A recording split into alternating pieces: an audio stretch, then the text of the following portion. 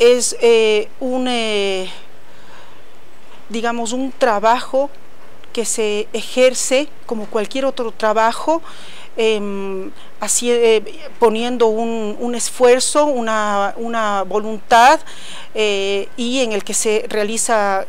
una transacción. Pero no solamente eso, sino que el destino de los ingresos que realizas por ese trabajo eh, están eh, destinados a la sobrevivencia, a la mm, eh, manutención económica de la persona que ejerce el trabajo sexual como de su familia.